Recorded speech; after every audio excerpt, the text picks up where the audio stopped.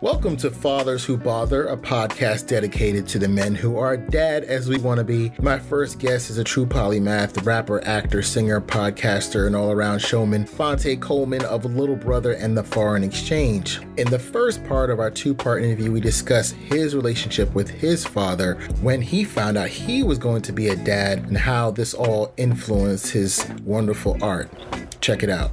All right. How you doing, ladies and gentlemen? This is your host, Jerry Barrow. Welcome to the first episode of Fathers Who Bother. I'm really excited because my first guest is partially responsible for inspiring this whole concept. He is a polymath writer, actor, singer, podcaster, just all around uh, dope gentleman. Those member big of words, brother. Thank you, thank you. I'm, I'm wow. I mean, we've got history going back to to to the Little Brother's first album. Yes. And, and you know, foreign exchange, Little Brother breakup, Little Brother reunion, you know, solo work, TV. The man, you know, we got a lot. But today, today, uh, we're gonna talk about something that's near and dear to both of our hearts, which is being fathers.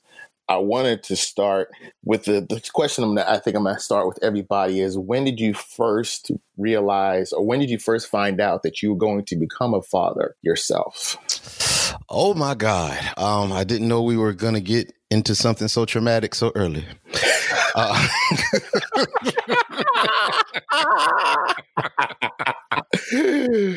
hey, I love it. I love it. Yo, this, this, is why I fuck with you, Jerry Barrow. We, we get we get right into it. Fuck right. it, let's go, man. Listen, um, so I found out out when I was going to be a father. I was in college, and um, my girlfriend at the time, she uh, we had we had not seen each other like for a minute and um, we had got together one night, the the the, the fateful night in question, and um, you know after that, like we kind of had kind of broke up and like not seen each other, you know, for a minute, and um, but we were in the same department in um in in English, you know, we were in the same uh, academic department. So um, she came to me one day and she was like, "Look, you know, I'm late, whatever," and I'm like man, we good because you know, being young, I mean, we had dodged so many bullets prior to that. right. you know what I'm saying? Right, like we we we had played with fire so many times. We was like, oh, we we cool. What you mean? Oh, it'll be cool. It'll be cool. Shooting but, up um, the club. See, see? I mean, that shit sounded like a Griselda ad lib, nigga. so so we was so yeah, it was you know. So I thought we was cool, and um, you know, a few weeks later, you know, she came. We she came. She called me, and um, I went and uh, you know, we went and got a pregnancy test, and um, yeah, man, um, you know, she took the test and she was pregnant. Um, that's the very abbreviated kind of uh, PG version of the story. The much more extended uh, version will appear in my memoirs someday, uh, thirty years from now. but but that was that was just basically what it was, and so you know we she, we found out she was pregnant, and I was just like, well, I mean, I you know like I wasn't um I wasn't excited about it, just to be very honest. You know, I wasn't excited. I was scared out of my fucking mind you know, like I think a lot of guys are, or you know, and um, that was pretty much what it was. And um, you know, she, you know, decided to, you know, to have my son, and from that point on, I was just like, well, I mean, this wasn't intentional. This wasn't like what I thought fatherhood would look like for me. Um, I, I, never really even saw myself having kids, to be honest. You know what I'm saying?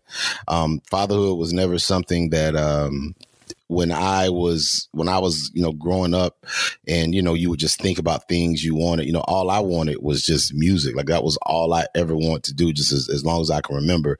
You know, I just saw my life involving just a lot of music, a lot of just making music, and just you know just expressing myself in that way. I never thought I would be a father at all. Like that was something I had absolutely no interest in whatsoever.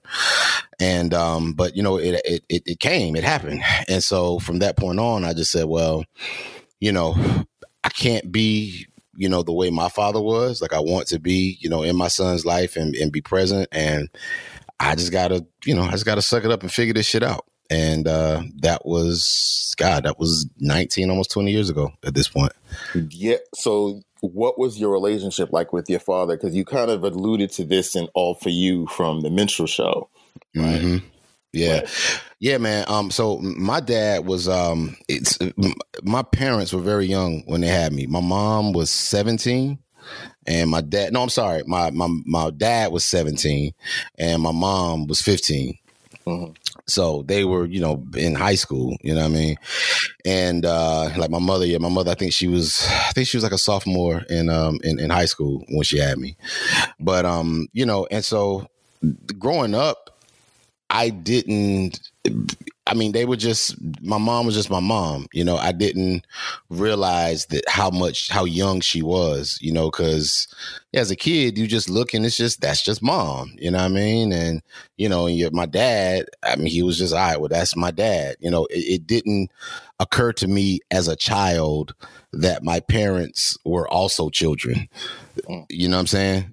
like you don't register that. That didn't register until much later.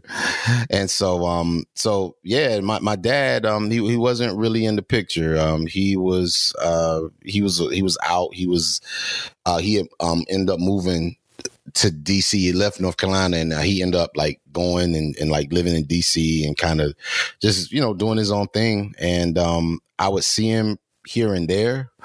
Uh, but I didn't really get a chance to really know him until probably the last couple years of his life and uh, he passed in 2016. And you know, he came to see me one time in 2012.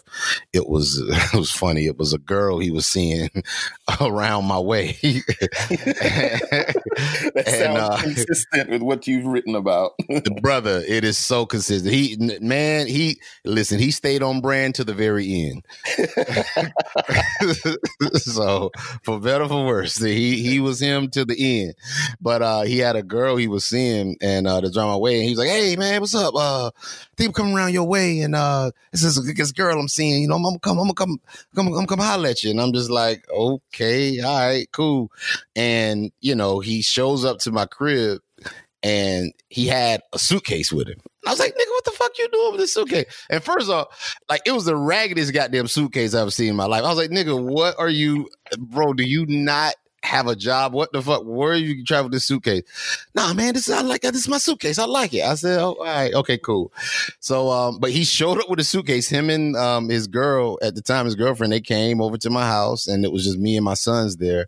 And um, you know, and we were you know, he came over and, you know, we, I cooked dinner and we ate and he ended up staying with me. I think he ended up staying with me for about two, three days. And, um, you know, that was the most time I'd ever really spent with my dad in that way. And, it taught me so much about myself. It was so many things that he did that I didn't, you know, know where I got it from. Like we mm. went to, I remember we went to Target and I was buying stuff for my crib and he was like liking the same stuff. I was like, yeah, like I like these earth tones. I like this for the table. I like this. And the, the, the taste that we had, it was like the same. I was like, damn. And you know, we were checking out and we, we were about to check out uh, at, at the at the Target, and I went and grabbed me some some peanut M and M's, and he was like, "Oh, you you like peanut M M's?" I was like, "Yeah, I love." He's like, "Yeah, man, this, I eat these all the time," and I, I again, I never knew. Like we went out to eat and like you know i was cooking well, before we went out to eat i went out i was cooking fish at the house for everybody. And um i made a piece of salmon that was you know kind of you know medium rare. It was a little it wasn't as cooked as the other pieces i made. And i said you know i said dad look i got this piece right here. I said you know i got another one coming. If you like it a little done more. He's like nah man nah i, I like mine bloody man. You you ain't gotta cook mine. I, I like it. And that's the same way I like mine. you know what I mean? Like the same way I like my salmon, same way I like my right. steak. Like I like right. it medium rare. You know what I mean? So it was just so wild, and you know, man, it was it was crazy. I, I later just had the thought, like years after, you know, when he passed. Um, I, I really think that was him saying goodbye. Um, mm. you know, he was really uh secretive about his health, um, and it was a lot of problems that he had that I didn't find out about until months down the line, almost until the point where he was almost about to die. Like when I went to see him, kind of in the last, I think maybe in the last year, and I was sitting with the doctor, and the doctor is just reading off a laundry list of health problems. Ooh. And me and my brother just sitting there like, what the fuck? Like, what? like we yeah you know we had to take his toe like i remember his doctor was like this he was i don't i won't he was he was african i i don't know what country he was from you know but he was you know he was he was a he was an african doctor and his bedside manner was trash, right? Mm. you know what I'm saying? I, I remember that. Man, like his bedside manner was just, he, you know, he just didn't have really good uh, bedside decorum. So he was just very matter of fact. Yes, your, your father, his heart is only working at 30% and his kidneys are failing and his heart, it will, it will not last. And we have, I was like, nigga, whoa, hold up, goddamn, nigga, what? he was just running it. And so, um, yeah, man, but you know, I never thought to fight. A, I never thought to fight a doctor until my father was on on his deathbed. I the way really because my father, you know, he he had a stroke a year before he passed, and mm. he was his. He also had heart issues. That's what kind of led to everything. He had surgery for a, a, a chamber in his heart, and they did they replaced the valve or something and then he like a month after a month into his recovery from that he had a stroke paralyzed his whole right side of his body Shit. and then things, things just went downhill from there and then i remember towards the end the doctor just basically came to me and my mom started talking about um what's the word they like to use when you want to start? Uh, what was it? Hospice. Oh, hospice. Or, yeah, hospice. Yeah, yeah. I was like, wait, or like, it's like, do you, do you have to sign this paper saying, oh, do DNR. Do uh, not, DNR, do not resuscitate. Oh yeah, my DNR goodness. order. Yeah, he, man. He asked my mother with a straight face, like, "So, how you feel about it? Um, you know, would you sign this DNR order?" I'm like, so they're, they're basically saying if he goes, if he has a, we problem, need permission to kill him. Yes, we and need your permission to let him die, bruh. I was ready to just haul off on this doctor. I'm like, are you serious? Are you trying to tell me you're not even going to try to save my father's life right now? And it took everything. My sister, my wife, everybody was like, Jerry, just go over here while we talk to the doctor. And I'm just like, yo, they are wild. Yeah. Bro it, yo it's so real man because it's and like i i get it because it's just so they have to make those hard decisions. And i mean in the case of my dad i mean listen dude like by the time i found out what it was his heart i think was only working at like a 10% capacity Oof. You know what I mean? So it was, it was, I mean, it essentially, it literally was just a matter of time. Like we were just counting down. And, you know, he had, uh, you know, congestive heart failure, similar thing. It was congestive heart failure uh, that was a result of diabetes. And then, you know, like he had to, they had to take, first they had to take a toe. Then they took, mm. you know, the foot. Then they had to take some more of his leg. Like, I mean, he ended up losing, you know, a leg. And it was just little by little, it was just like a slow, deteriorating thing, uh, you know, for like that last year. And, um, you know, the last time I saw him, it was actually it was before foreign exchange show. We had played, uh, we, we were playing Howard Theater. I guess this was back in, this was 2016. Uh, we did a show at Howard Theater and, um, you know, sold out show, show was crazy. And I went and to see him. He was in a nursing home up in Maryland before the show. And me and my, uh, my wife, or my, then my, my girl, but no, now my wife, uh, we went and see him. And, um, that was the last time I saw him, man. And I just saw him and, you know, we talked and uh, he was in a room with this other couple, this other old, older guy who uh, was a, a, diabetic patient who lost his leg, and his wife was in there, and um, it was beautiful, man. Like you know, we just all had a conversation, and several times during that conversation, I remember my dad just breaking down crying, mm. and um, he just. You know, he was just saying, you know, I love you, man, and you know, I'm proud of you, and you know, it was just all these things that I guess maybe he didn't have the words to say before, you know, but um, he, he, you know, we we were able to talk, and that was the last time I saw him. And um, you know, man, the, the big part for me, uh, the biggest takeaway from just his life and what kind of led to just my parenting approach um, with my with my sons was that I learned that the biggest gift that we can give our kids is the is the gift of ourselves. The the best gift you can give your kids is giving them the opportunity to really know who you are. And um, I, I, went through it a, a, lot. You know, when my pop passed, it, I was really angry. Uh, for, for I, was, I was angry for a while just because it was so many questions that I had I wanted to ask him that I never got a chance to. And it was a lot of things I was going through in my adulthood, just as a young man, uh, that I, I, I had questions about. And, you know, I wished, you know, I would have had him, you know, to to kind of help me through that. You know what I'm saying? Yeah. And uh so yeah, and that was it. So with my kids, it was just like, yo, man, if nothing else, I want my boys to know me. I want them to really know their dad and know what I'm about, you know, know, you know, my good parts, my bad parts and, and everything, because the better they know me, the better they'll they'll understand themselves. So how many kids do you have? I have two boys, two two boys, 19 and 14. Okay. Wow. So what's what's that like? You got two teenagers. Man, listen. Never a dull moment. Never a dull moment. uh, you know, man, it's it's cool. You know, it's it's it's very different. So the the relationship I have with my 19 year old is is very different than the relationship I have with my 14 year old. Um, my 19 year old, me and his mom, that was my college girlfriend, right? And you know, we right like today we're the best of friends. Like it's all love. Like we're you know like we're, we're we have an amazing relationship now, but that wasn't always the case. you know what I mean?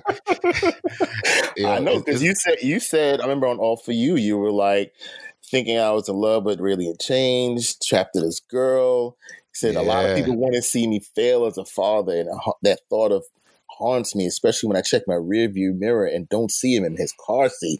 I was like, damn, this brother preaching right now. Um, so what? Yeah. So, so what's how much of you since you didn't have that relationship with your father?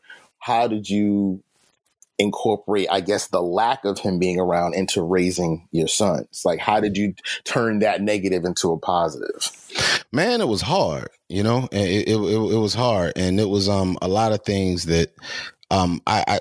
I certainly I don't struggle with as much now, but uh, I know for the a bigger part of my twenties, um, my you know my late twenties, you know early thirties, I just really beat myself up about uh, because I never kids was never something that I wanted to have. Like I never saw myself as doing that. And so I felt guilty. Like I felt bad. And I just always felt like I was a bad father and that I wasn't doing enough. You know what I'm saying? It always you know, I, I always had this kind of insecurity of not being a good father. And um you know, and that and that was and I was really I was really hard I was really hard on myself. I would look around and see other kids um you know, when I like when I would go to events with my son, like we have to go to like the, you know, the fucking the children's night at the school where they give a play or whatever fucking corny shit, right? you know what I mean? So you know, but you gotta go. And like you know, and my son at the time he's like five six, so he's like a kid. So I'm like, ah, I gotta go. And and I remember being in those spaces and just seeing all these dads with their cameras out and taking 50 million pictures and you know they smiling and shit. And I'm like, yo, I am I just a fucking degenerate? Because I don't care about none of this shit. Like, I, you know what I mean? Like, I don't, like, fuck this fucking play, dude. Like, so fucking what? Like, nigga, who cares? They're, they're fucking six. Like, they can't sing. They're not talented. Like, get me the fuck out of here. You know what I mean? You're speaking for so many uh, parents right now who wouldn't have the balls to say what you said. But I've been to so many Christmas concerts, and I'm just bro, like, bro have to be here right do now. we really get to do this? Is there any other way I can show my love? Please let me write a check. Where, where, where can I just write the check to? Just tell me where to send the check, and I can take my ass home, and, it, and it'd be over with. That's it. Oh. Yeah. But so, but, so then the thing about it is like you know the kind of cool full circle thing is once my kid got older, you know, once my sons got older, I would talk to him and I'd be like, "Hey, yo, man, do you really want to do this Christmas thing or whatever?" And he's like, "Nah, Dad, it, this, that, nah, this lame. I don't want to go."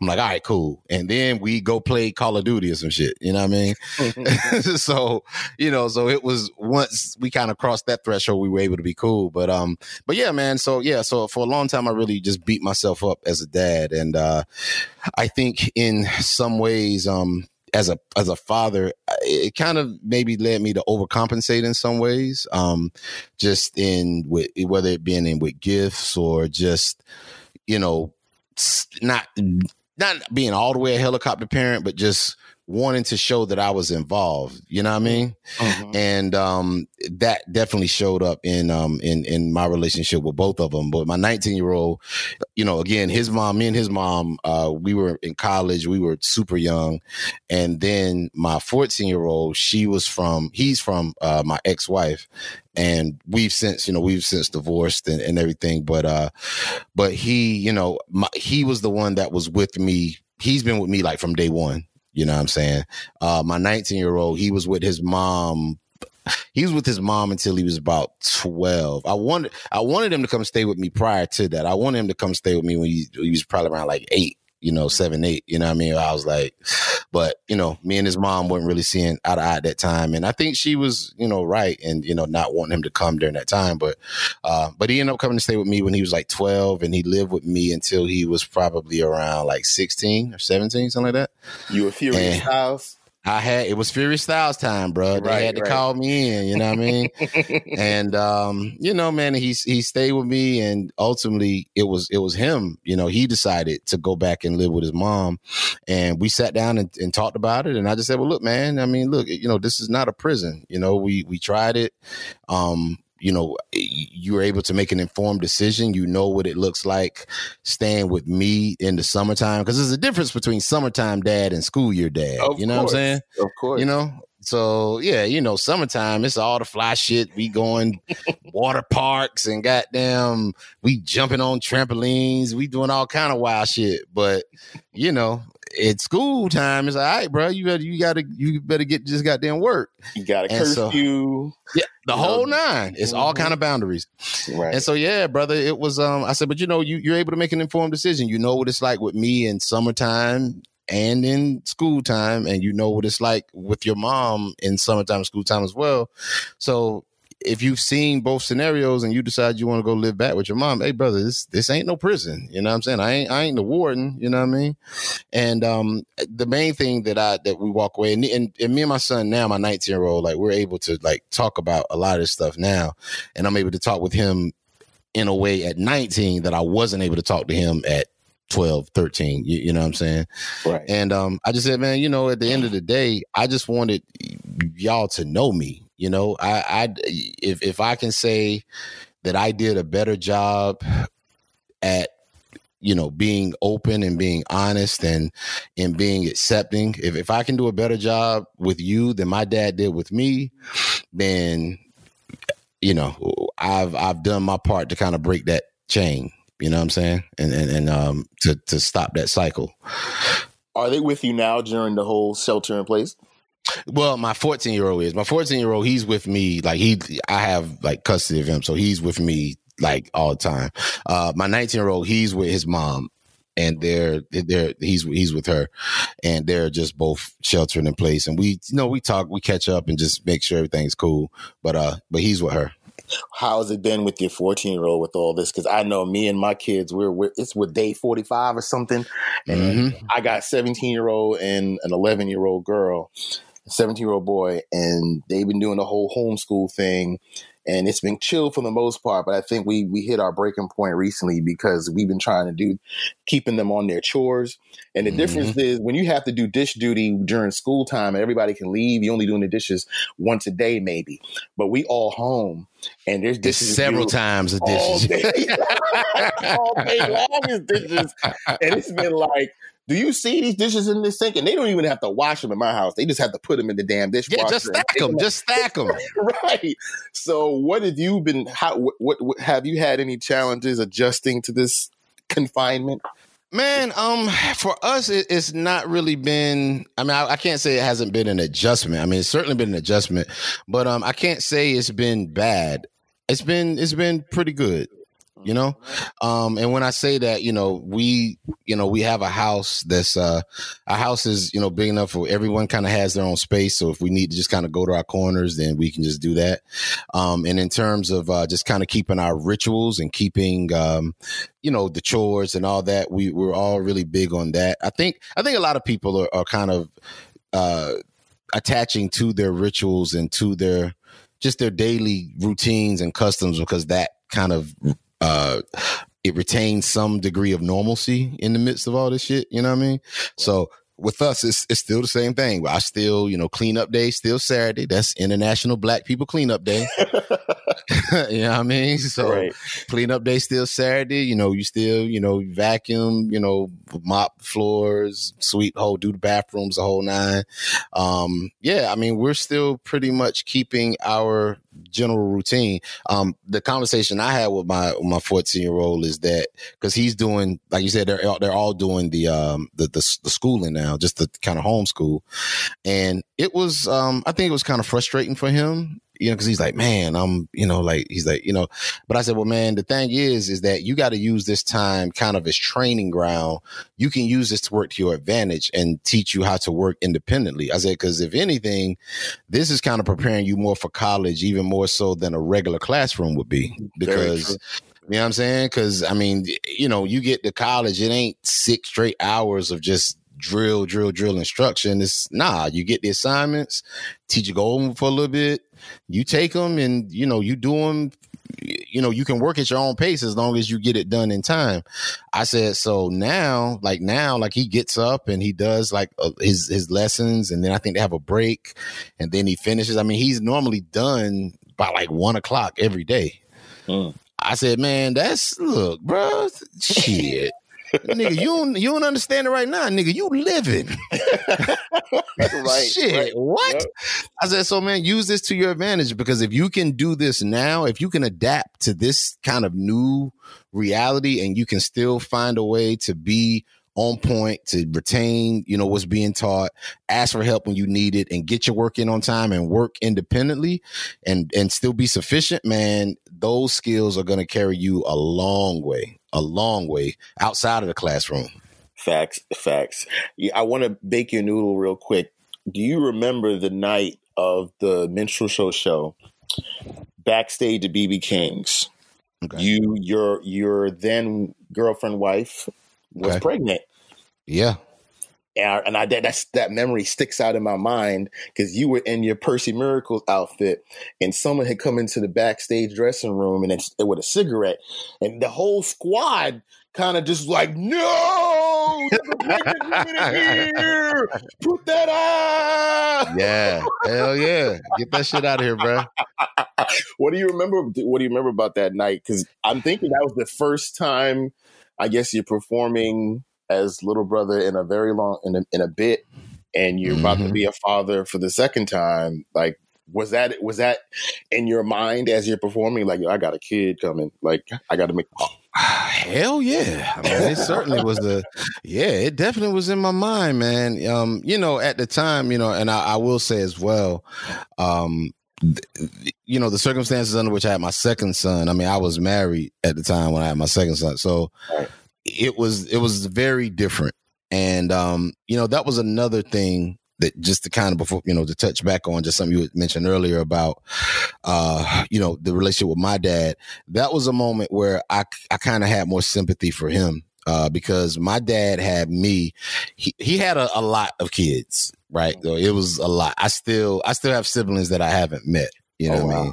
Like, you know what I'm saying? So it's it's it's a lot of us, but he um you know he had me and my brother so my my brother kendrick you know we we call ourselves hood twins like my mm-hmm. birthday is i'm in i'm in uh i'm in december and he's in july Okay. So yeah, I mean, wow. Well, yeah. Okay, I got you. I got you. You feel me? yep, yep, yep, yep. And, and I and our moms, our mothers were classmates. So oh, Papa yeah. was a player. Woo. Man, listen, let me tell you, that nigga was a Rolling Stone, a Beatle, goddamn the Who, nigga. He was he was all them niggas.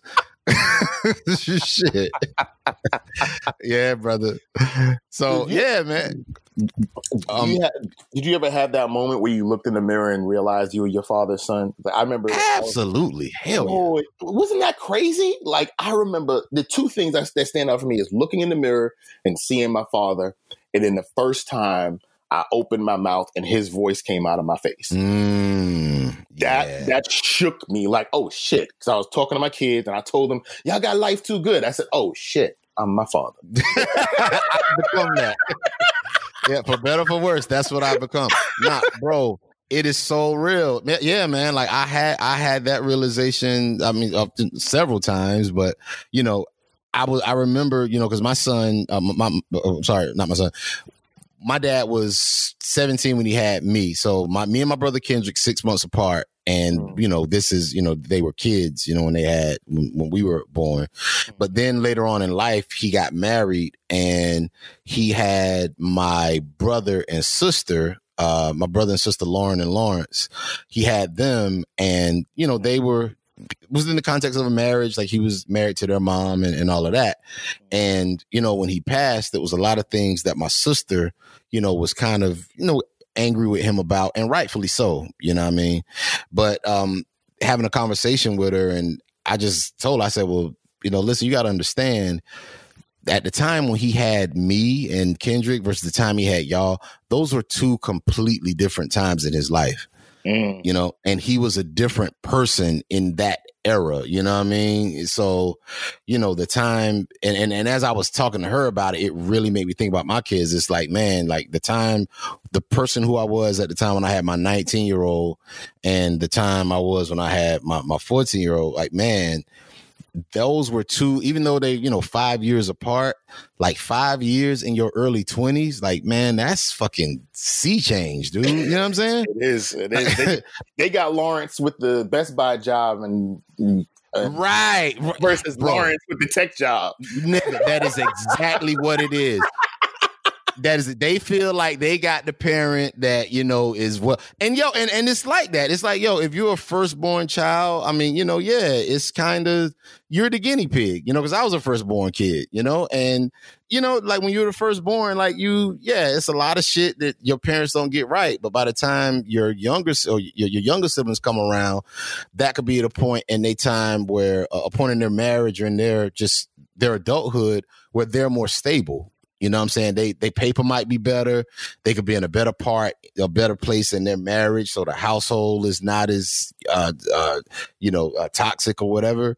And man, those are things you have to take into into consideration. So seeing that definitely um helped me relate to my sons a little better because I had to keep in mind that they've been growing with me through all of this and the person I am today is not the person that I've always been, you know, and to give them some, um, to give them some leeway and be compassionate and, you know, towards them about that because it was a lot of growing pains that, that I went through and, and still going through, you know?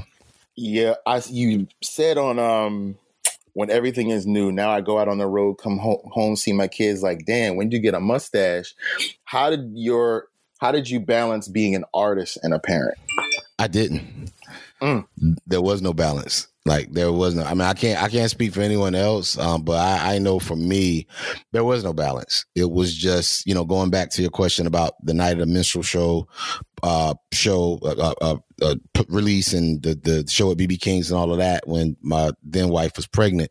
Yeah, I mean the the only thought in my mind was survive just mm. survive and you know and, and provide. That was that was the main thing provide you know what i mean? I just gotta provide you know what i mean? So i gotta go out here i gotta do these shows i gotta do these records these mixtapes you know and that was it. Like i wasn't thinking about being you know a, a parent or you know I, my only thought was okay if i'm in the house with my kids and they not broke the way i was broke then i did my job.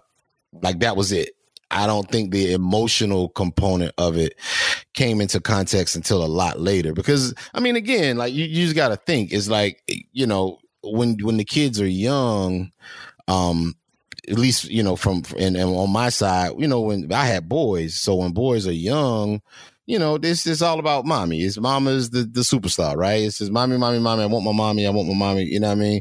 But then once they kind of cross that threshold about uh, 10, 11, 12, you know, depending, that's when they want to be around masculine energy. They want to know what dad is doing. They want to, you know, they they want to do some they want to do some man shit, you know what I mean? So um I thank God that um you know while I wish as they were younger, I wish I could have been a more emotionally involved parent.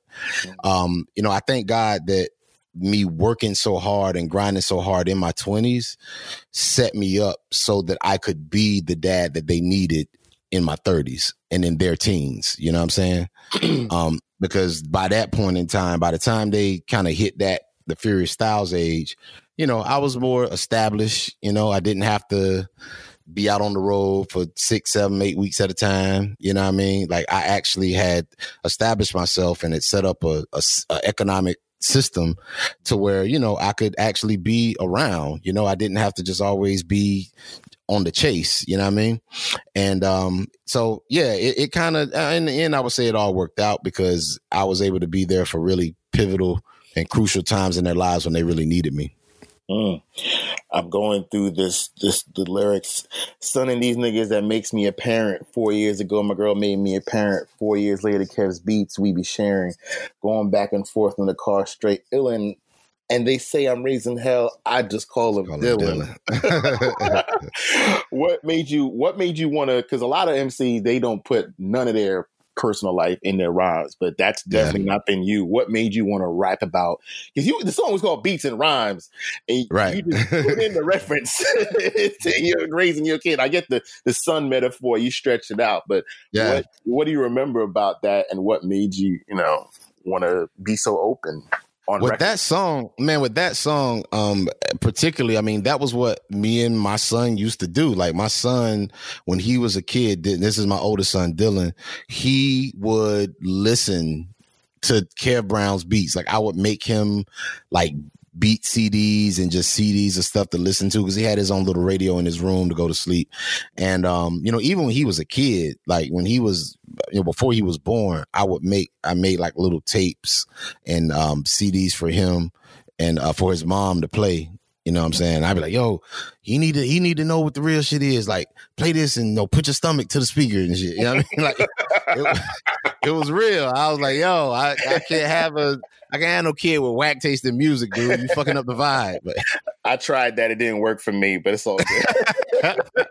My son yeah. is his own person, but you know, I tried. Bro, they're their own people, and they they're and they're you're absolutely one hundred percent like they're their own people, and they're gonna be who they are. You know, it's some it's some parts you can look and say, okay, I see that comes from your mama. You see some shit, it's like, okay, I see that comes from me. But then it's gonna be that other part. It's just like, nigga, I don't know where the fuck this came this is yep. all yours. right.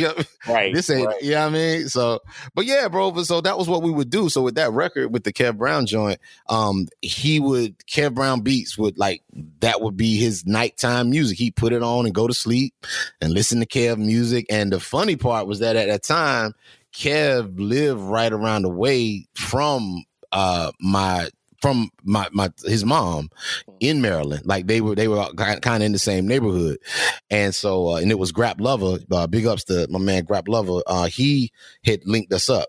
You know what I'm saying? And so because because um, uh, Grap was in Maryland too at the time. He was living there. I think Grap is still in Maryland, but uh, he was up there.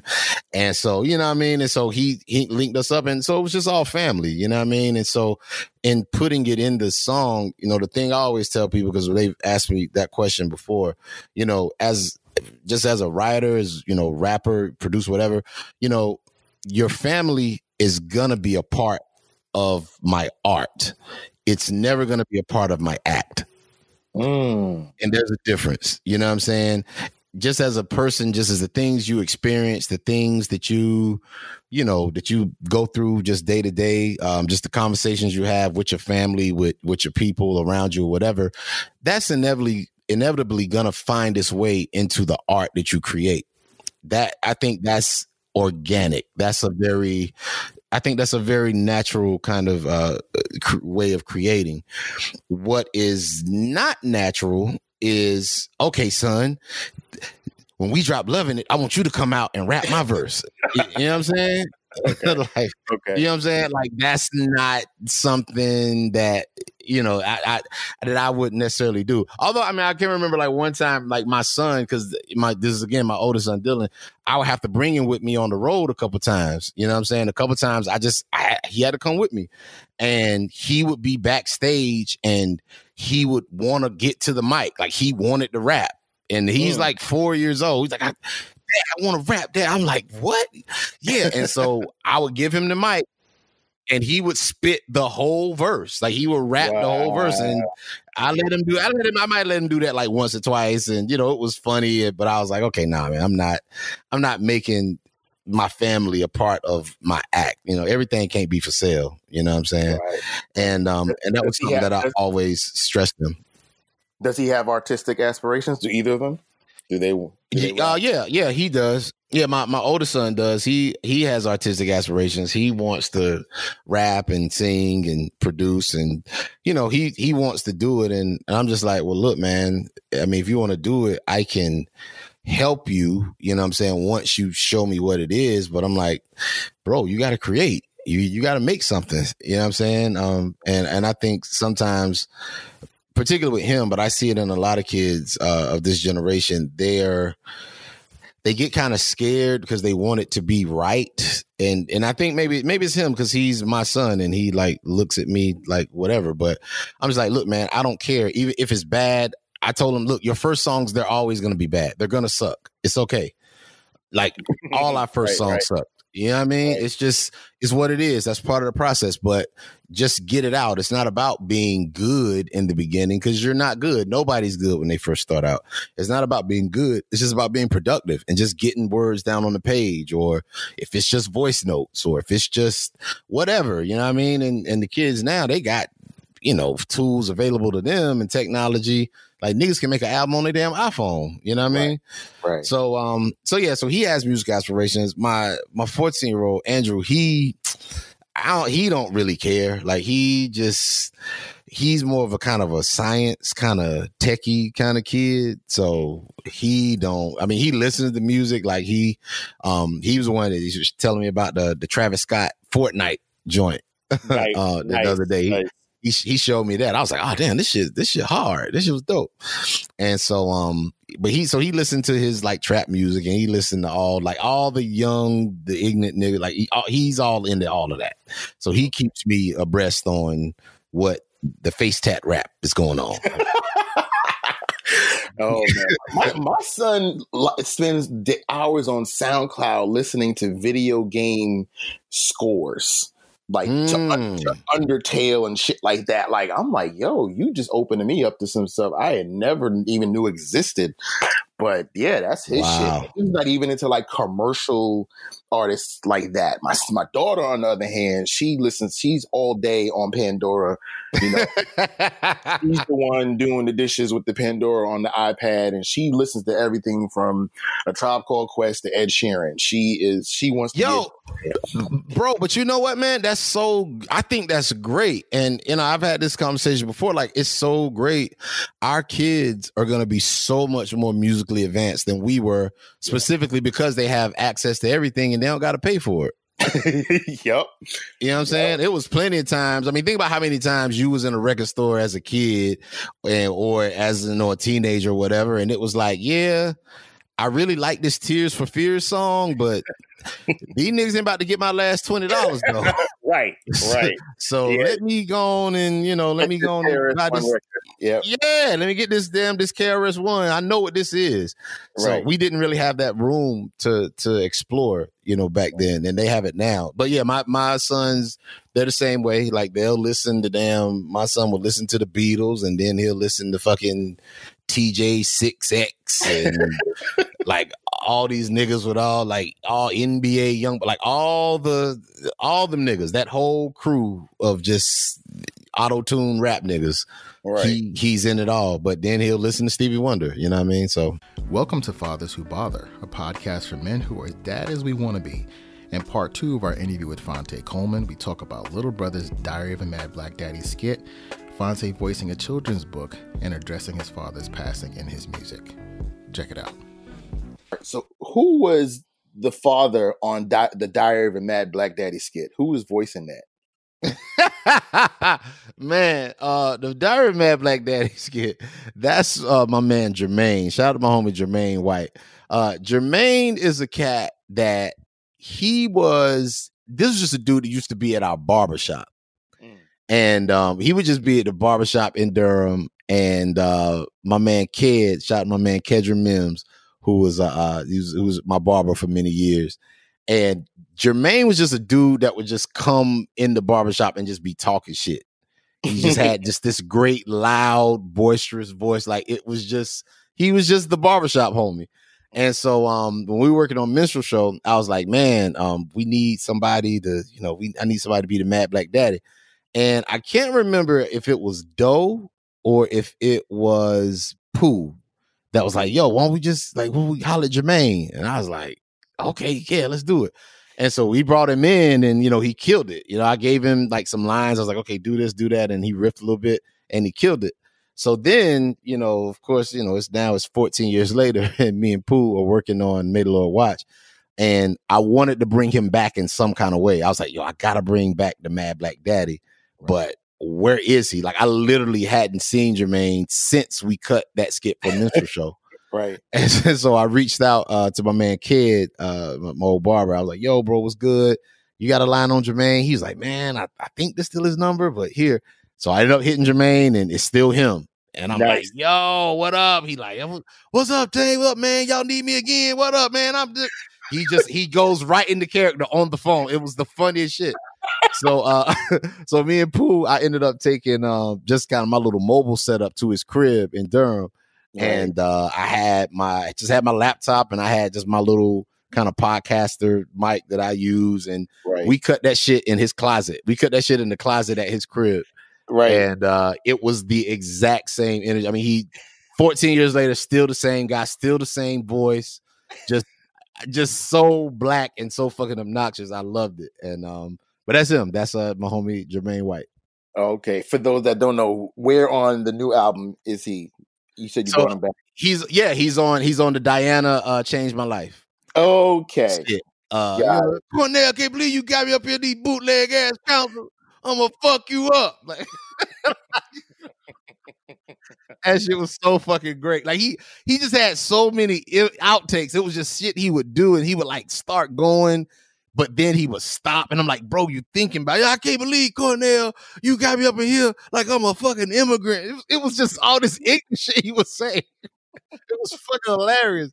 So, but yeah, he, he's uh that's him, uh, Jermaine White. He's on uh, Diana Changed My Life on May Lord Watch, and uh Diary of a Mad Black Daddy on um on what you call it on uh, uh Minstrel Show. He's yeah. also and now I think about damn, I forgot. He's also t- uh tucked very deep. He's also on Get Back. We brought him back uh on Get Back for I think it was the skit before after the party where it's like the club let out skit or like the club parking lot skit. Oh, the and, banana pudding. I'm gonna go have to get a banana pudding shake.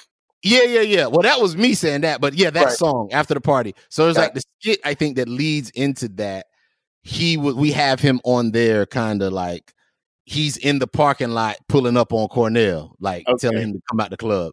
But yeah. it's like you have to really listen to hear it, but he's on there. Uh, yeah, okay. Um, so you voiced a children's book, a, a bedtime yeah. story. That joint is hilarious. Please tell me about you, we used to have money and now we have you.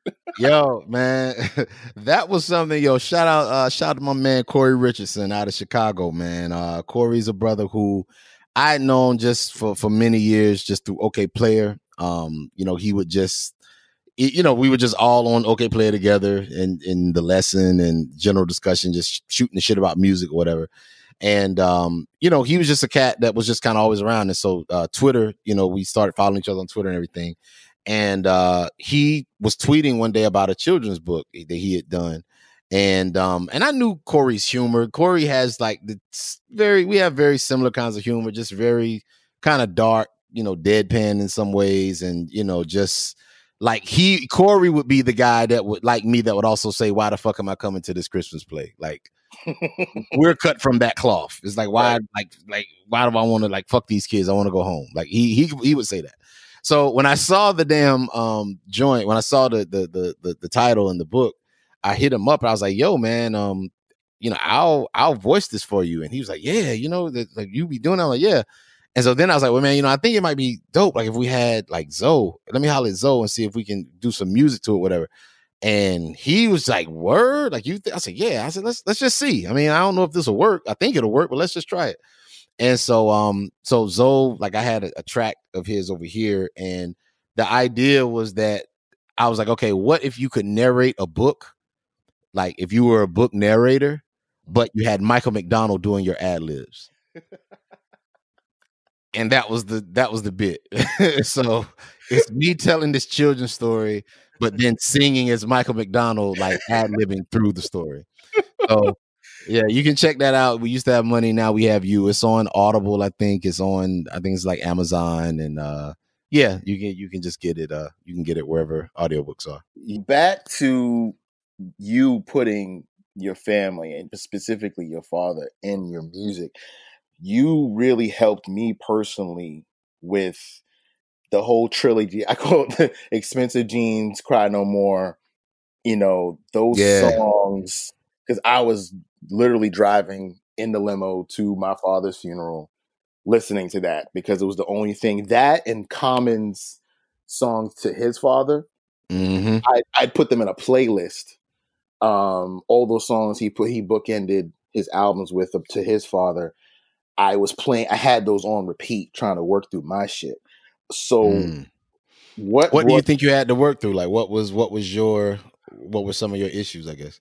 Um, just the the loss, you know, because I was mm. I was very close to my father, and I you mentioned earlier that something you you wish you had done as far as getting to know your dad. I had actually interviewed my father, um, back when I was running Watch Loud about his taste in music and how he discovered things, and I always tell people it was one of the things I um with I, I, I suggest everyone do if you have a parent mm. who's alive, is sit down and interview your parents.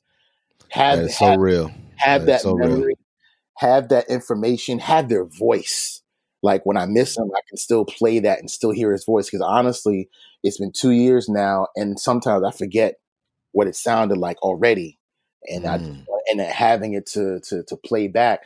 But just dealing with my anger because I felt like it was unfair the way he went, the fact that he was you know, he was he was a walking dude. Like my father mm-hmm. riding a bike, walking the streets, you know, he did not stay home. So I knew how much it killed him almost literally to be in a bed 24/7 not being able to move. I know he hated mm, and yeah. he and he couldn't talk. That was hell. That was hell for him. That was hell for him and it just made me feel like and I felt helpless. I felt mm. so helpless because I couldn't do anything to, to, to to fix his situation, and all I wanted to do as a son was to make him feel better, and I couldn't. So, and I just wanted to connect to other men dealing with their fathers and their in and their relationships with them, and you and Common were the only ones I had um, to to kind of fall back on. But then specifically, you know, cry no more was just like everything you said was just like, damn, he's like in my head right now. Thank so, you so much, man. Um, so just talk to me a little bit about that. Did that help? Did that give you closure? Um, it, it did in some ways. I mean, you know, I don't think you ever really have closure in the sense of, well, it's over. I'm done now. We're good. You know, um, I don't, I don't think it's that straight of a line, but it definitely did give me um it was a release and it was um just through the process of writing that song and just kind of drawing a lot of parallels you know and and I'm sure that you you know can relate to this as a writer it's like you'll have a concept in your head and you know you might make your notes you might make you know just kind of uh ideas you may scribble down or whatever but it's not until you actually start the process of actually writing it and when you start writing it, that's when like a third gear kind of kicks in because there's certain revelations that only come to you in the process of writing. Mm. You know what I'm saying? And so in the process of writing, it was things I was like, damn, man, like, wow, like this nigga died of all these heart problems, and then we left the fucking funeral and went and ate fried chicken. You know what I'm saying? Like just just shit like that. Yeah, I'm like, damn, you know what I mean? and um, I was um at the repass with those words running through my head, but I still fucked up on food. oh no, we still listen. We still gonna eat. We still gonna you know, it wasn't because it wasn't the fact that he ate fried chicken at the rebate. No, it's when you eat it every day. Like that's when right. You know it's like, bro, you you're not giving yourself a chance in hell to make it out here. But um, but nah, man, yeah, it was it it was tough, and uh, I think in the process of just writing them songs, um, you know, when you talk about, you asked me earlier about just realizing that you're your father's son. You know, when I was again telling his story, you know, he loved his work and his women built like a Clydesdale, went to the city in church in search of supreme clientele. Like I'm listening to his story and I'm telling it, and I'm just like, damn, like I wonder if that's how my kids see me because as a kid, all I really remember is just watching my dad work. Like that was it. It was just work, work, work. Like that was, you know, he had his own business and you know, that was that was it. And so that was a moment where I was like, man, I don't want my kids their memory of the only memory they have of me is dad at his computer. Mm. You know, like I, I, we I gotta form something else. We gotta go, you know, shoot some hoop. We need to go, you know, play some video games. Like I don't want that to be their only the only way that they remember me. And um yeah, that that helped me. It did help me um put a lot of uh it, it helped me let go of a lot. You know I'm saying? The anger that I had, you know, towards him, um, it kind of it, kind of made me a little more a lot more sympathetic towards him, I'd say.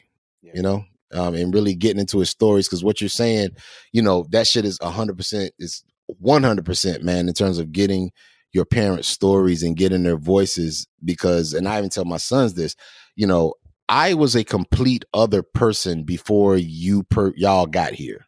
Mm-hmm. Like I had a whole lot, like so all the things that y'all are doing now that you think that oh dad you wouldn't understand, nigga, I had you. yes. So anything that you about to tell me something with a girl or something you think, oh, you wouldn't understand how it is with these girls. Nigga, your mama was one of these girls. What the fuck you mean I don't understand? Shit. you you think your mama wasn't busting dope, nigga? Like what the fuck? Like you come on, bro. You can't. you know what I mean? I trauma we traumatize our kids with shit like that. Like it's my wife and I would like, you know, we we we try to be affectionate when we can and mm-hmm. sometimes we forget that they're around and he'll just give the eye roll like, oh my God, get a room. Like, like I don't need to get a room, nigga. I bought a house. right. He's like, that you, you live in. How do you think you got here, fool? And he right running away. Oh, dad. oh, that's gross. Ah. I'm like, yeah. Yeah, man, but that's it. Like, but you, but bro, but that's that's the thing, right? So like when you're younger, you just see your parents as just mom and dad. But when you right. get older, you start to see them as people. Right. And that was, you know, a big part when we, you know, you talk about just writing and, you know, just kind of working on my album and stuff. Like that was a big part, I think, for me as I got older. I really got to see my dad and, and my and both my parents really as people. And once you see them as people, I think your view of them becomes um, a lot more sympathetic and in, in, a lot of ways a lot more informed because now you just look at them as just they're not mom and dad these kind of all seeing you know all knowing people. You know they're just people that made decisions and you know some were good some were bad but they were trying to figure this shit out just like you're trying to figure it out now. Like they were no you know me at you know 41 you know, with a kid, with a 14 year old, you know, I was no more informed than my dad was when I was 14. You know what I'm saying? Like we we were all trying to figure this shit out. And actually, in some ways, I'm probably more informed now raising my son than he was raising me. You know what I'm saying? Right. right. Um, because and I forgot who it was. It was a comedian or somebody that made a joke about how uh, I think it was Jerrod Carmichael that just made the joke about how you know, our grandfathers were all horrible people. Mm-hmm. yeah. you know what I'm saying? Like this, yeah. shit, mm-hmm. this shit was hilarious. And it's just like, yo, this whole new thing of this thing of, you know, dads being active and mm-hmm. listening and all like nigga, that's some new shit. like that's something that just happened like in the last, you know, 20 years, 15 years or so. Like this whole our fathers weren't in the delivery room. My father was at a bar when I was born. My mother told me. my, my, mother was in labor. My father was at a bar around the corner, and Ava just went and got him when I was born. This whole gotta be in the delivery room is definitely some new shit. Yeah, like co-ed baby showers. Are you fucking shitting me? Like, what the fuck? I'm not going to goddamn baby shower. Like, no, I no. I would go to my own baby shower, let alone like one of my one of my wife's friends said he was like, you know, we're gonna have a it's co-ed and you can bring your partner. You can bring. I don't want to go. I don't care. I don't want to be there. That is. I'm old school in that way. That is woman shit. I don't care. Like I will send money. I will buy. Send me your Amazon gift registry. I got you. I lace it up. And little baby gonna have everything. He'll have the finest of everything. But right. I'm not about to sit in no goddamn baby shower. Y'all motherfuckers damn play the gender reveal and we eat damn these Swedish meatballs. No, I ain't doing that. I'm done. you so gotta wear the fucking shirt, right? You like the fucking baby shower shirt. You know the shirt. The fucking baby shower shirt and take the picture and you got to wear the baby shower fucking shoes and stuff, uh, man. No, the hat. It's the hat. They make the hat out of yes, the tissue paper oh, out of the plate. That is so fucking humiliating. I'm not gonna subject myself to this. Like, no. but this is new, but these are all new development. You know what I mean? Like that, like back in come on, man, in what, like in the 70s, 80s, your dad coming to a co-ed baby shower. Are you that might have got you kicked out your house, like, you know, you know what I'm saying? Like you ask your your dad sitting in his recliner, hey dad, I want to talk to you about something you know, I know you're watching in the heat of the night right now, but uh it's a baby shower coming up. that shit might get you written out of the will, nigga. You shitting me? Get the fuck out of here. Uh, so I have a segment I want to do called "The Moment I Feared" because it's inspired oh, by a, a moment when my son, when he was about, I want to say four, came downstairs nonchalantly and quietly and told his mother and I that he had swallowed a battery. Oh my god! a little watch battery from his Game Boy, one of his Nintendo toys or whatever, and that just threw us into a panic, which led to hospital visit, which led to mm-hmm. us having to monitor his poop for the battery. Make sure he got it out. Make sure yeah. he got it out and fishing out of his feces for a battery. so do you have a moment as a as a newer parent where you were just like, yo, what the hell am I gonna do in this situation? I don't have one as extensive as that one. I've never had the pleasure of digging through feces to you know to dig out you know a, fucking game boy battery that that's that sucks uh I did have the uh experience of um and I think I, I told you about this I think one of first off, as the father of two boys, you're gonna have several fucking moment I feared, you know, moments. Mm-hmm. Like them shits happen, you know, a lot. Uh, but I definitely think it was one where I found out my son, my oldest son, at the time was renting his shoes out in school. What? He was renting. He was he was renting his his shoes out. Like this was the wildest. This was the wildest shit ever. Like he was. So his report. I've, I've told I've told his story like once twice before. So he was a he had done good in school. He had done good in school, and you know, we had all bought him shoes because he, you know, like the kids, they like Jordans and all this shit. So I was like, all right, man, cool. You know, you, you know, you like shoes. So he had done well on his report card. So we all laced him with shoes. Like I bought him a pair. Uh, like his mama bought him a pair. My mama bought him a pair. Like it, I mean, he, we just all, you know, we came together and you know, we we laced him. So um, you know, so he had probably about like yeah, probably like four five pairs of shoes. Which as a kid in middle school, like that's some baller shit. You know what I mean? Because and then I even tell my son now, I'm like, look, bro, I'm not buying you. You're not getting no more than like two pair of shoes. You're getting like a school pair, you're getting a play pair, or and maybe like a pair that we shoot ball in or go to the gym in or whatever. But it doesn't make any sense for you to have like six, seven pairs of shoes that you're gonna fucking outgrow in six months. Like right. that's you know what I mean? Like you don't become a collector until you stop growing. Exactly. You know what I'm saying? So um, so but yeah, but at the time, you know, he had like several pairs. So one day he came home with a pair of shoes that I had never seen before. And I said, Hey man, where you get them? He's like, oh, uh, you know, me and my friend, you know, we we just traded. And I said, y'all traded? Like, what the fuck you mean? We we just trade. I let him get a pair of mine, and we just gonna trade for.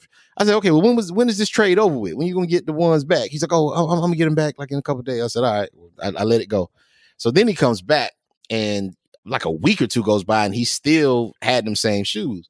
Mm. And um, so we're in the car one night, and we were going to buy something. I was going. I think I was going to buy him like a coat that night. He needed like a winter coat. And um, he was like, "Well, yeah, Dad, you know, I got some money." Somehow it came up that he had money, and I said, "Where you get the Where you get the money from? Where you get five dollars from?" Oh, uh, cause I um I found five dollars walking on my way to school. I said, "Look, man, look now, come on, bro. I'm gonna need you. I'm gonna need you to lie a little better than that. I'm, I'm, gonna need. I'm gonna need you to lie like you got a daddy that read books, nigga. Come on now, come on, come on. Get, get, get, give, give me something better. I'm, I'm gonna try again. No, uh, uh, no, I, I had money left over from from from from Christmas. I said, I know you didn't have money left over from Christmas because I took you to damn uh, Hollister and you bought that hoodie and all that shit. I, I, watched you spend all your damn money from Christmas. So I know you ain't got no Christmas money left over. Like, where you get the money from? So finally he breaks down and he's like, Well, Dad, I've been renting my shoes. I said, You've been doing what? He said, I've been renting my shoes. You like kids at school, they like my shoes. And so I just let them rent them for five dollars. I said, okay. I said, okay. Boy, listen, let me tell you something. I was so motherfucking mad. I I turned I turned the car around. I just turned the car around. I just came straight home. I was so goddamn hot. I said, all right, man. I said, okay. So I got home. We got in the house. I gave him a trash bag. I said, I want you to go upstairs and go get all your shoes. and just put them in put them in this bag and he's just quiet and he's like, what the fuck? So he goes and gets them. He puts all his shoes in the bag. I said, man, well, what's your um, what's your favorite? What, what's your favorite pair? You know, which one's your favorite pair? And he was like, uh, probably you know these Jordan, you know that these these threes I got. I said, okay, well, we ain't we ain't gonna keep them. I'll let you get these Adidas. These are the ones we bought just for play with. You can wear these. You wear these Adidas. You know what I mean? And so I took the rest of his shoes. I had them in the bag. I said, I said, this is what's happening. I said, you've been running a business without a business license. I said, I said, now in the real world, in order for you to run any kind of business, you have to have proper, uh, you know, you got to check in with the proper authorities and get the proper licensing in order to legally run this business.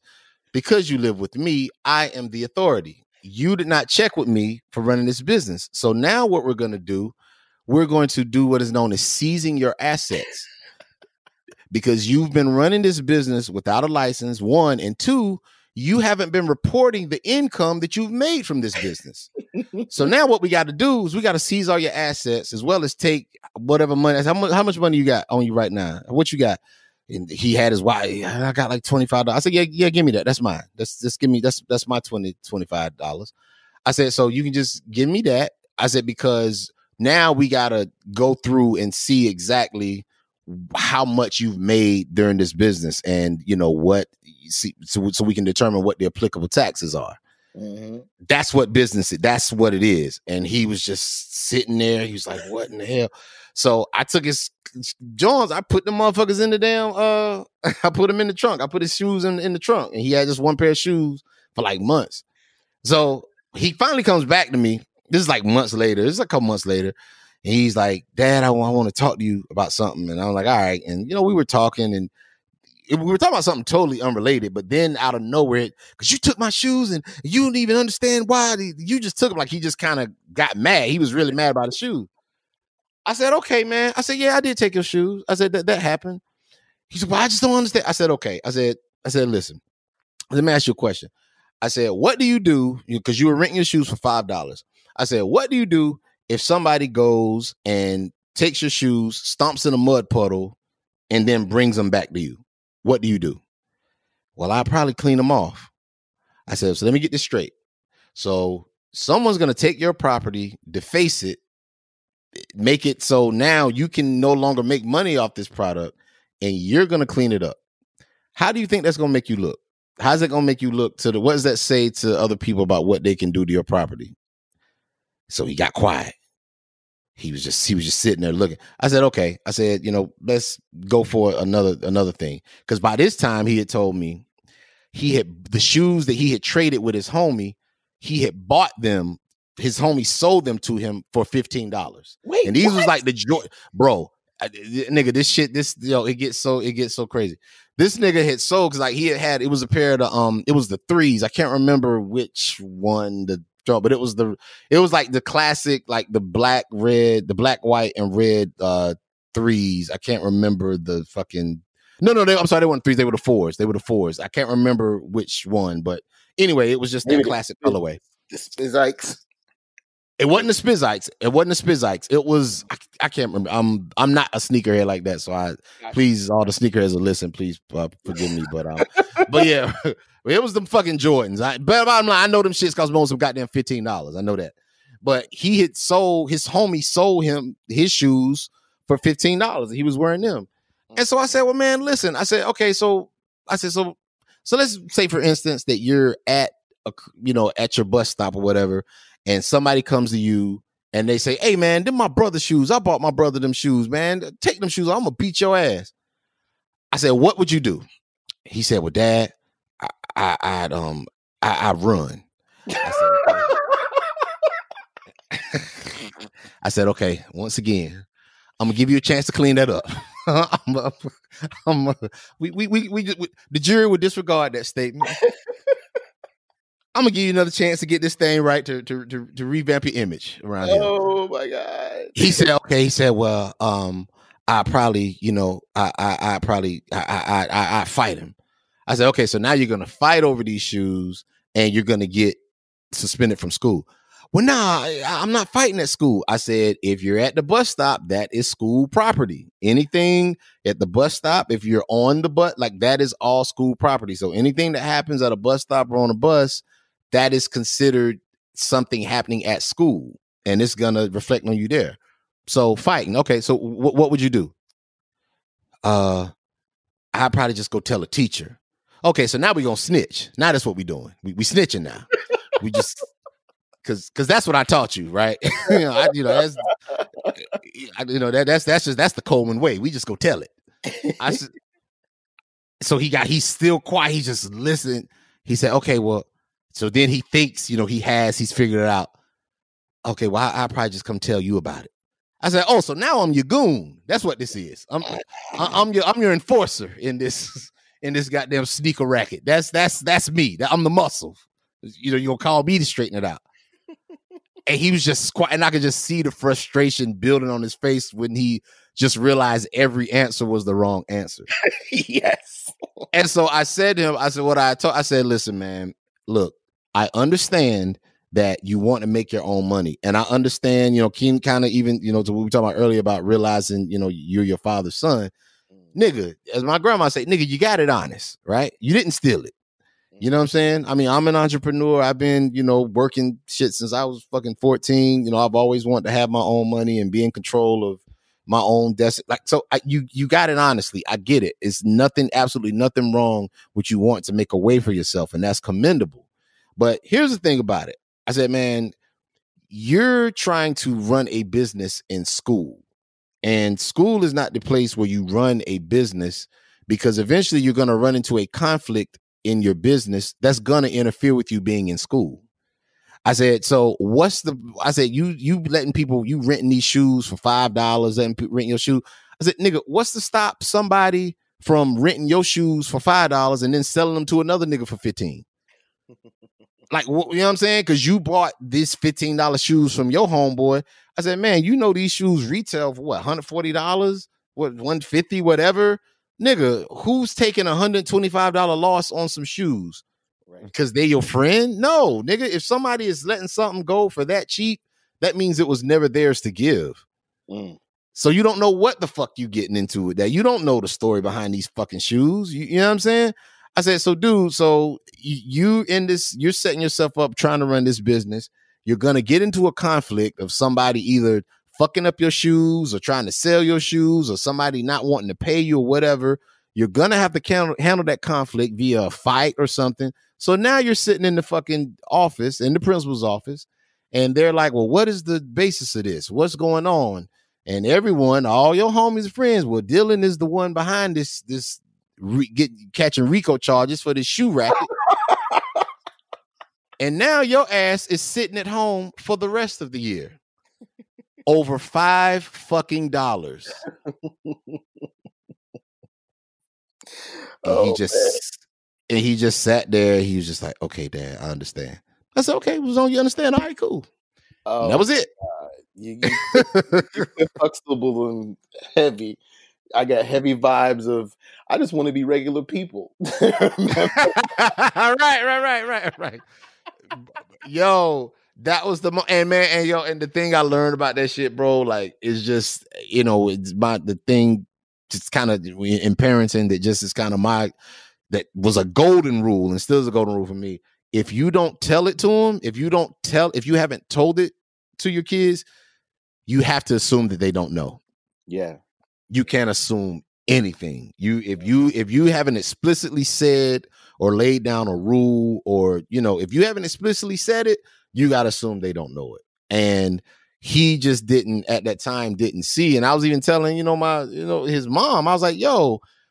I, it wasn't that I didn't want to come down hard on him. You know, I, I wasn't trying to embarrass him or nothing, but yo, I've nigga, I was a kid once. I was 14 once, and I know right now you renting sneakers, but nigga, by the time you get to your freshman year, you gonna be selling something else. You know what I mean? Like it doesn't it doesn't stop. I like, you know, I, I've seen that that hustle mentality, it can go, it can go in a positive way or it can go in a very negative way. And you know, I was just trying to, you know, let him know, like, bro, it, it ain't sweet out here. Like, just you know, if you want a job, we nigga, you can just get a job. But you know, you ain't this shit you trying to do, homie. This this has uh deeper ramifications than you realize. And so that was uh one of my big moments. I was like, what the fuck am I doing? Like like what what am I supposed to do with these people? I think you handled it admirably. So let's Thank you, brother. let's, let's close on what is your favorite part about being a father? Man, I think my favorite part about being a father is um in a, in some ways, you know, I think being a parent is is almost like time travel. You know what I'm saying? Uh, in in the sense that you get to correct mistakes of your past through your kids. Mm, And you know, and it's not that and, and it's not to say that you live for your kids and that you make you know what I'm saying? Like you can't you can't attach your dreams to your children. I think that's harmful. You know what I mean? uh you know if you you the nigga that always wanted to be pro so now you couldn't play pro ball so now you got your son out here running suicides and all this crazy shit. Right, you out here with a goddamn bullhorn and shit. And you know and it's like listen if that's your son's dream let it be his dream but don't put your dream on him you know? Right. but um but one of the things that i that, that- that i do enjoy is just um being able to when my sons come to me with problems and being able to talk to them about it and and kind of give them instruction of saying nah this ain't how you want to handle that. This is the way you know this is a better way of of, of approaching this because that was something that i wished i would have had at that age you know what i'm saying? I wished you know when i was 13 14 that i would have had my dad to talk to you know and and and to give me you know just some real game on how to move out here you know? And so when we had these conversations um you know they walk away and you know and i just think man like these boys are going to be so much better in life than i was you know? Like they're gonna they're gonna go on to do things that i you know couldn't have dreamed of doing because they're gonna have better instruction you know what i mean? They had they had a blueprint. I, we didn't have a blueprint. Like i was the only like I was, me and my homies as i'm sure a lot of people are doing now just in quarantine you know we're all you know having zoom conversations and checking in and stuff and you know a, a very good friend of mine his mother died a couple weeks ago and um There's been a well lot of days that. My best friend's father died from from this COVID shit. If you don't yeah know, man if you don't know anybody whose parent or grandparent or aunt or something has passed, then you haven't been uh, outside because it's it's real. No, it's it's totally real. This ain't no this ain't no joke. And those two, uh, um, his mom, his mom's death wasn't COVID related. I do have uh, like other people in my family and like in our circle that I've lost, you know, to COVID that you know died specifically from COVID. But uh, but my buddy, his his mom, it wasn't COVID related, but she passed, you know, nonetheless. And um, you know, we was all on Zoom and we was just, you know, just talking and just kind of shooting the shit. And you know, one of my boys, he said he was like, "Yo, um, my homie Milt, you know, who was our uh, our, our tour manager uh, on with LB, and he was just, I, I was like, you know, man, out of all of us, you know, he Milt was the only one that had a dad. Like Mm-hmm. none of my homies growing up had fathers in their lives. And the thing about dysfunction is just that when you're surrounded by it, you don't even realize that it's a dysfunctional setup Mm. because because none of us had dads, you know what I mean? So it wasn't even like you could compare and contrast, you know what I mean? It was just okay, my homie Milt, like he got his parents, but you know, they they, you know, that's just one thing. You you don't even look at it as like, damn, like this is something wrong. But none of us, like all my day one homies, like none of us had our, our dads in their lives. And even in my neighborhood, like the homies I would kick it with, just, you know, to live, you know, on my block and everything, like we there were no fathers around Mm. like none you know what i'm saying and um you know i, I just look at it now um and i think I, I talked to you we talked this about you know uh, uh, a couple years back how when my son started having they homies come over you know it really changed my perspective on what fatherhood meant Yes. and you know what I'm saying, and how yeah, I remember my granddad, and I told you, you know, my granddad, he was Mr. Coleman in this neighborhood. Like he was the house where, you know, everybody would come by and, you know, would have a drink or you needed a plate of food or, you know, like you needed some advice, whatever. you know what I'm saying? Like my my my grandfather's house, my grandma's house was kind of the neighborhood spot for that. And, you know, my granddad helped a lot of people. And now it's like I'm the Mr. Coleman of my neighborhood. for all my for all my homies friends, like for all my, my son's friends, they little homies come through and they want to play PlayStation and damn Xbox and just I let them sleep over. I let them, you know, do all that shit because I'm like, man, I know y'all safe here, and so um, that's probably the the the, the my favorite part of uh of um of being a dad of just knowing that I can take whatever all the mistakes I've made and the, the hardships I went through and just traumas I've experienced and I can present that to my kids in a way that makes them better and so they can build off the foundation that I laid and go on to greater and better things and be more dynamic as a result of that. You know, when you talk about Mr. Coleman, I feel like you had a Mr. Coleman moment on Who Loves You More. I think because that verse, it didn't seem like you were talking to one of your kids, but you were talking to someone who you were who was a younger person or mentor in your Mm. life. Is that correct? Am I am I, am I reading that Who right? loves you more? Uh which I'm trying to think which verse. Charity, charity was- starts at home. Yeah, I know the song. I'm trying to think. Uh, my brother hit me up, said he had to make Bell again, cause uh, I'm trying to think which verse. I know particularly with "Who Loves You More." That was, I mean, one verse was about my brother. Uh, that was definitely kind of talking to my my younger brother. Okay, Um, maybe that's what it- I, I was feeling. It was Yeah. definitely an advice because the first one was definitely about you know divorce and you know Mhm. relationship, and the second one was my cousin hit me up said he had to post bail again because my brother again, back in jail again. Yeah, yeah, yeah. because he tried to sell again. And how am I failing him? And then you just went into the, you know, these youngins want all the spoils with none of the toils. And I was like, damn, in his bag right now. Uh, Thank you so much, man. yeah. yeah nah that was it yeah that was definitely kind of frustration i mean it was it was particularly about you know uh about my brother but yeah it, it could definitely be applicable to um to to the kids you know like, particularly like when my son like right now like we had a conversation a couple maybe a couple weeks ago with my my oldest son and you know we was talking about music and i was just kind of telling him about you know just the creation and just we you know we're just talking about stuff and so finally I asked him, I said, Well, look, man, well, what have you done? Like, can you play me something? Can you show me something? Can you spit something for me? Like, you know, what's what? And he said, Well, dad, you know, I, I, right now I'm just I'm, I'm trying to just work on my image. I said, what? You're trying to work on your image. He's like, Yeah, yeah, I'm I'm, I'm just thinking, I'm trying to work on my image. And the thing about it, man, and I had a conversation with another homie of mine, you know, that works with like a lot of youth, and he was like, Man, what it is, he said, that's the way they process the world now. Mm. He said, you know, the way they process the world, you know, is not, it's not about how much money you have. I mean, if you have the money, you have money, but they're more impressed with your Instagram followers. Mm. they're more impressed with, oh shit, you verified on Instagram. Right. Like right. that that means something to them. You know what I mean?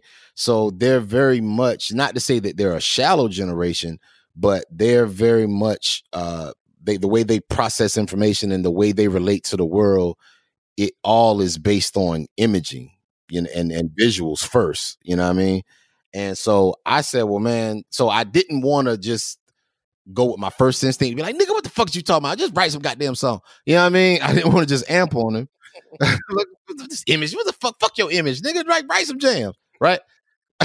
but what I said to him, I said, well, listen, I understand the image is important to you, but maybe a better way to approach it is to start creating songs and then let the songs dictate what your image is. Mm. Because it's easy to just I mean if you if you create an image and then try to write songs based on that image, you're essentially creating a character. Mm. But if you write art or you create art or you make music and then let that music dictate your image, that's when you're really walking and creating in your truth. You ain't got to fake shit at that point. I can be Phonte today, tomorrow, next week, whatever. Like it, it, it's not a character I have to get into. You know what I'm saying? And he was like, "All right," he's like, "I get that." He's like, "All right," and you know, he later he let me hear something. I think a little bit later on, and he actually got bars. Like he can rap. I was like, "Yo, man, you sound good." Like, yeah, I was like, "Yo, you can you can rhyme." So you know, we'll we'll see what he does with it, but you know, he he got to put in the work. we'll definitely keep us posted. We'll definitely have to have you come back to give us an update on his his his budding MC career. Phonte, this has been everything I dreamed it would be. for real, for real. Um, I, I, appreciate you. Um, when I can, you know, I can, had this idea. I've had it for years, and you know, some things have kicked me in the butt of late. And hell yeah, it's kicking everybody. Listen, man, listen. But it's wrong to get niggas right, cuz. Shit. But I said, you know what? Now's the time. I've actually learned some things from being on other people's podcasts and talk to friends. And I said, you know, okay, now I have a plan of action. And you know what? Boom, let's do it. And this has been an incredible conversation. Uh, Man, absolutely. Likewise, brother. Thank you um, for having me as always, and thank you for always supporting me. And um, and brother, and I just want to say, man, like just even what you're doing this podcast, I I think is so great and is a lesson to so many creative people that you don't have to rush into something, right? Like just because you see all your homies going on IG live, that don't mean you got to go on IG live. You know what I mean? Right. Like take this time to sit back and find out what your gifts are and then determine the best way to present those gifts in a way that is most useful to the people you know and um you know i just i just commend you just for kind of you know because i you know i've read about the like the layoffs and and everything and you know i, I shot you out but you know I, I just think it's so dope that you through all the years that i've known you regardless of what magazine you were at or whatever you always had your own shit. You always had your own platform. If it was watch loud if you know you know the every what everything. Like you always was like yeah i'm working for this person but i'm still gonna keep a little piece of myself to do me and um you know man and i always just admired that about you uh creatively and professionally uh brother and uh you know i'm, I'm proud to call you a friend and a brother of mine and just thank you again and i think this this podcast is gonna be a great outlet uh just for for men to, to have that conversation about fathers and our fears as fathers, our you know everything. I think this is fantastic.